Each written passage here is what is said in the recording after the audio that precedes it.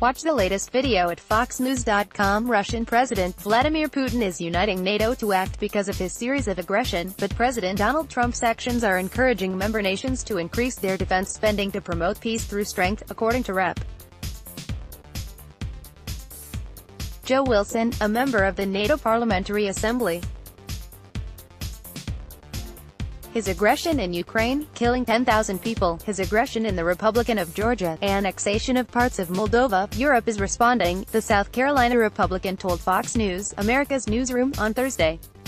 Last year, NATO troops were sent to Estonia, Latvia, and Lithuania, while American troops went to Poland, said Wilson.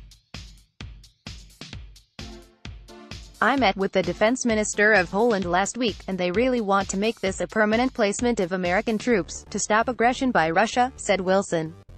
He also answered tensions that are rising between President Donald Trump and German Chancellor Angela Merkel, as Germany's military spending for NATO has fallen below the 2% target, in noting that Trump's tough stance is getting results. I was in Brussels in February and I saw 29 delegations, said Wilson. I've never seen such cooperation, and so I believe what President Trump is doing is being successful. He is causing the other countries to increase their defense spending to promote peace through strength. Wilson also thinks the other NATO countries will respond to Trump's warnings, especially considering the Russian threat. We've had other presidents say our allies should participate more fully but now we have with President Donald Trump promises made and promises kept, said Wilson. It was just a year ago, that people should look on July 6 last year. The president gave a remarkable speech in Warsaw, reassuring our allies about Article 5 working together to promote the strongest national defense for mutual defense. However, he admitted that the upcoming meetings in Europe may be contentious, as Trump will be standing up for the American people, but the president's strong stance will be beneficial to Europe.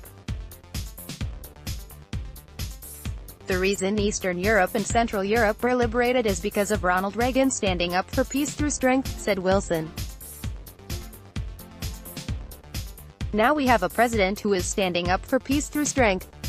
This is just so reassuring and it is heartwarming to me as a veteran myself as a dad of four sons who served overseas in the military, for a military family. This is so reassuring we have a president who is Following through politics Russian President Vladimir Putin is uniting NATO to act because of his series of aggression, but President Donald Trump's actions are encouraging member nations to increase their defense spending to promote peace through strength, according to Rep.